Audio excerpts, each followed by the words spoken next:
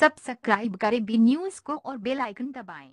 विधानसभा चुनाव प्रचार के लिए कर्नाटक गए मुख्यमंत्री योगी आदित्यनाथ को शनिवार को वापस लौटना था, लेकिन आंधी, तूफ़ान से प्रदेश में भारी जनधन की हानि होने से वह दौरा निरस्त कर शुक्रवार को ही वापस लौट रहे हैं।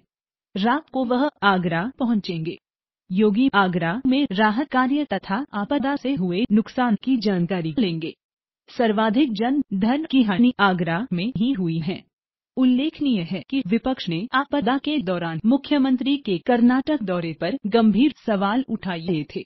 मुख्यमंत्री योगी आदित्यनाथ पर कर्नाटक के मुख्यमंत्री सिद्धारमैया के साथ सपा के राष्ट्रीय अध्यक्ष अखिलेश यादव ने भी ट्वीट के ज़रिए निशाना साधा था। कहा कि ऐसे समय में जब यो